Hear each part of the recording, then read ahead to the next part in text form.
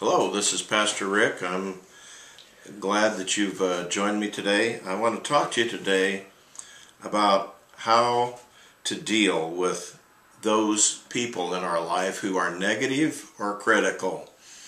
Uh, they can drive you crazy, but I want to talk to you about some positive ways that you can deal with that issue. First, I want to read a scripture. It's in the Gospel of Luke, chapter 11, verse 14. Jesus was casting out a demon and it was mute. So it was when the demon had gone out that the mute spoke and the multitudes marveled. But some of them said, He casts out demons by Beelzebub, the ruler of the demons. And others, testing Jesus, sought from him a sign from heaven.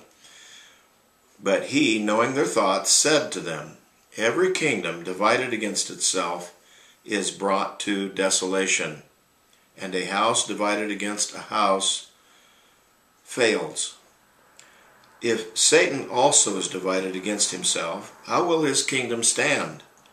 Because you say, I cast out demons by Beelzebub. And if I cast out demons by Beelzebub, by whom do your sons cast them out? Therefore they will be your judges. But if I cast out demons with the finger of God, surely the kingdom of God has come upon you. So we're dealing with that in our nation today in, in some ways in which there is much conflict. Our leaders are engaged in conflict one with another. And uh, I just want to talk to you a little bit how to deal with negative people. First thing is you need to always expect that there will be some people who are uh, negative or critical almost all the time and there's really nothing you can do about it. So I want to take a little load off of you. If Jesus was criticized, then you need to be prepared to face criticism. Second, you need to understand the nature of a negative or a critical spirit. It's easier to be critical than to be part of the solution. And so some people want to go the easy way, and it's easier just to criticize it than try to help it's also an easy trap to fall into. If there are other people who are negative around you, I know that you and I are always tempted to join in and to get into the same negative spirit. Be careful, don't join them. And it often includes personal attacks. When we get negative about something, it evolves into a negative attack and an assassination on another person's character.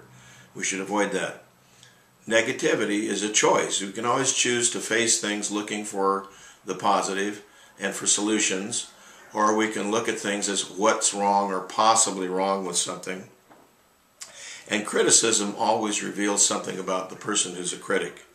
Negativity reveals that the person is really not willing to join in and help solve the problem. And negativity reveals a lack of faith. The person doesn't believe that we can solve the problem. The truth is, God-sized tasks always require great faith. Negativity also reveals a lack of time with Jesus. You know, when you're with Jesus Christ, you worship Him. And when you worship Him, He lifts you up and encourages you. This is why, if you're not attending a church and engaged in worship with other believers, you'll tend to be discouraged and feel alone when you're dealing with problems. If you come to a church and you worship with others, you, they tend to lift you up. In fact, we lift one another up. We need each other. And negativity often reveals deeper personal issues that someone is struggling with because of something that happened in their past.